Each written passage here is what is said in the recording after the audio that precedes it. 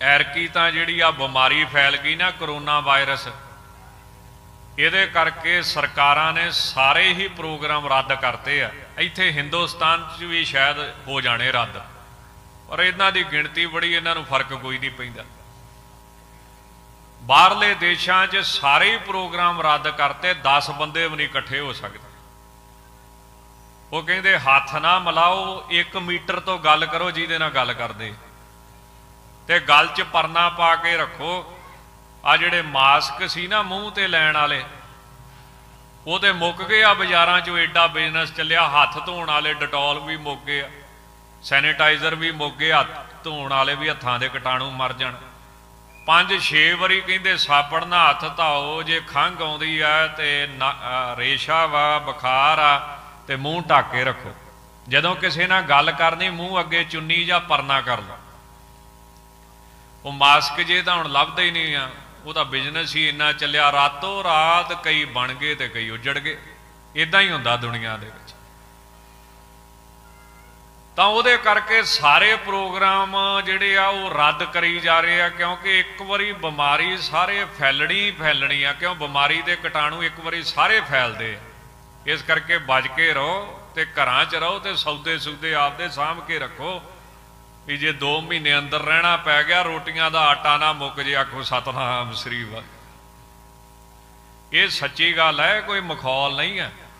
ਗਾਂ ਤੋਂ ਗਾਂ ਚੱਲੀ ਆਉਣ ਡਈ ਆ, ਕੈਨੇਡਾ ਦੀ ਜਿਹੜਾ ਜਿਹੜਾ ਪ੍ਰਧਾਨ ਮੰਤਰੀ, ਉਹਦੀ ਘਰ ਵਾਲੀ ਨੂੰ ਨਿਕਲ ਆਈ ਆ, ਤੇ ਆਪਣਾ ਕੀ ਬਣੂਗਾ? ਜਿਨ੍ਹਾਂ ਕੋਲੇ ਏਡਾ ਇਲਾਜ ਆ, ਇੰਨਾ ਸਭ ਕੁਝ ਹੈ। ਕਰੋਨਾ ਵਾਇਰਸ ਬਹੁਤ ਭਾਰੀ ਗਿਣਤੀ ਦੇ ਵਿੱਚ ਫੈਲਦਾ ਪਿਆ ਹੈ। ਇਸ ਕਰਕੇ ਸਾਧ ਸੰਗਤ ਨੂੰ ਬੇਨਤੀ ਹੈ ਕਿ ਆਪੋ ਆਪਣੇ ਪ੍ਰਬੰਧ ਕਰਕੇ ਰੱਖੋ। ਆਉਣ ਵਾਲੇ ਦਿਨਾਂ ਵਿੱਚ ਉਮੀਦ ਹੈ ਕਿ ਸਰਕਾਰ ਸਭ ਕੁਝ ਬੰਦ ਕਰੇਗੀ, ਜਿੱਥੇ ਇਕੱਠ ਹੁੰਦੇ ਨੇ ਉਹ ਵੀ ਬੰਦ ਕਰੇਗੀ। ਬਾਹਰਲੇ ਦੇਸ਼ਾਂ 'ਚ ਦਾਸ ਨੇ ਪਹਿਲਾਂ ਦੱਸਿਆ ਕਿ ਬੰਦ ਕਰ ਦਿੱਤੇ ਗਏ ਨੇ। ਸਕੂਲ ਵੀ ਬੰਦ ਹੋਣਗੇ, ਪਾਰਟੀਆਂ ਵੀ ਬੰਦ ਹੋਣਗੀਆਂ, ਜਿੱਥੇ ਵੱਡੇ ਵੱਡੇ ਇਕੱਠ ਹੁੰਦੇ ਨੇ ਉਹ ਵੀ ਬੰਦ ਹੋਣਗੇ। ਸੋ ਆਪਾਂ ਸਾਰਿਆਂ ਨੂੰ ਸਾਵਧਾਨ ਹੋਣਾ ਚਾਹੀਦਾ ਹੈ। ਇਹ ਨੋਵਲ ਜਿਹੜਾ ਕਰੋਨਾ ਵਾਇਰਸ ਹੈ ਇਹ ਇੱਕ ਫਲੂ ਹੈ। ਤੇ ਜਿਹੜਾ ਫਲੂ ਹੁੰਦਾ ਹੈ, ਉਹ ਕਿਸੇ ਨਾ ਕਿਸੇ ਰੂਪ ਦੇ ਵਿੱਚ ਫੈਲਦਾ ਜ਼ਰੂਰ ਹੈ। ਇਹ ਤੋਂ ਬਚਣ ਦਾ ਤਰੀਕਾ ਕੀ ਹੈ? ਇੱਕ ਤਾਂ ਠੰਡ ਤੋਂ ਬਚ ਕੇ ਰਹੋ। ਦੂਸਰਾ, ਤੱਤੇ ਪਾਣੀ ਦਾ ਸੇਵਨ ਕਰੋ। ਪਰ ਇਹ ਵੀ ਗੱਲ ਨਾਲ ਜ਼ਰੂਰੀ ਹੈ ਕਿ ਇਹਨੇ ਇੱਕ ਵਾਰੀ ਫੈਲਣਾ ਹੈ। ਫੈਲਣਾ ਕਿਉਂ? ਜਿਵੇਂ ਕਿ ਸਿਆਲਾਂ 'ਚ ਜ਼ੁਕਾਮ, ਸਰਦੀ ਜਿਹੜੀ ਆ, ਉਹ ਬਦੋ ਬਦੀ ਵੀ ਹੁੰਦੀ ਹੈ ਇਹ ਤੋਂ ਘਬਰਾਉਣ ਦੀ ਲੋੜ ਨਹੀਂ ਹੈ। ਸਤਿਗੁਰੂ ਨੇ ਵੇਖੋ ਸਾਡੇ ਤੇ ਕਿੱਡੀ ਵੱਡੀ ਕਿਰਪਾ ਕੀਤੀ ਸੱਚੇ ਪਾਤਸ਼ਾਹ ਜੀ ਨੇ। ਉਹਨਾਂ 300 ਸਾਲ ਪਹਿਲਾਂ 500 ਸਾਲ ਪਹਿਲਾਂ ਹੀ ਇਹੋ ਜੀਆਂ ਮਰਿਆਦਾ ਸਾਡੀਆਂ ਬੰਨ ਦਿੱਤੀਆਂ ਨੇ ਕਿ ਜੇ ਅਸੀਂ ਉਹਨਾਂ ਮਰਿਆਦਾ ਨੂੰ ਫੋਲੋ ਕਰੇ, ਕਰੀਏ ਤਾਂ ਅਸੀਂ ਇਹਨਾਂ ਭੈੜੀਆਂ ਬਿਮਾਰੀਆਂ ਤੋਂ ਬਚ ਸਕਦੇ ਹਾਂ। ਜਿਵੇਂ ਮਹਾਰਾਜ ਨੇ ਆਖਿਆ ਸੀ, ਫਤਿਹ ਬੁਲਾਓ, ਆਗੇ ਆਬਦ ਸਿੰਘ ਜੋ ਪਾਵੇ, ਵਾਹਿਗੁਰੂ ਜੀ ਕੀ ਫਤਿਹ ਬੁਲਾਓ। ਹੱਥ ਨਹੀਂ ਮਿਲਾਉਣਾ, ਫਤਿਹ ਬੁਲਾਉਣੀ।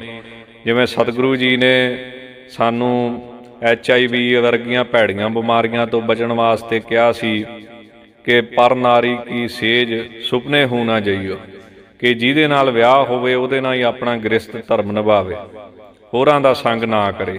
ਤਾਂ ਵੇਖੋ, ਸਤਿਗੁਰੂ ਦੀ ਕਿੱਡੀ ਰਹਿਮਤ ਸੀ, ਕਿੱਡੀ ਕਿਰਪਾ ਸੀ, ਕਿੱਡੀ ਮਿਹਰ ਸੀ। ਉਹ 300 ਸਾਲ ਪਹਿਲਾਂ ਹੀ ਸਾਨੂੰ ਇਹੋ ਜੀਆਂ ਭੈੜੀਆਂ ਬਿਮਾਰੀਆਂ ਤੋਂ ਬਚਣ ਦਾ ਤਰੀਕਾ ਦੱਸ ਗਏ, ਪਰ ਸਾਨੂੰ ਸਮਝ ਨਹੀਂ ਆਈ। ਹੁਣ ਅਸੀਂ ਪਲਾਸਟਿਕ ਦੇ ਭਾਂਡਿਆਂ ਵਿੱਚ ਰੋਟੀ ਖਾਂਦੇ ਆ ਜਿਹਦੇ ਕਰਕੇ ਸਾਨੂੰ ਕੈਂਸਰ ਹੁੰਦੀ ਆ। ਅਲਮੀਨੀਅਮ ਦੇ ਭਾਂਡਿਆਂ 'ਚ ਰੋਟੀ ਖਾਂਦੇ ਆ ਜਿਹਦੇ ਕਰਕੇ ਸਾਨੂੰ ਕੈਂਸਰ ਹੁੰਦੀ ਆ। ਤਾਂ ਸਤਿਗੁਰੂ ਜੀ ਨੇ ਸਾਨੂੰ ਸਰਬਲੋਏ ਦੇ ਭਾਂਡੇ ਦਿੱਤੇ।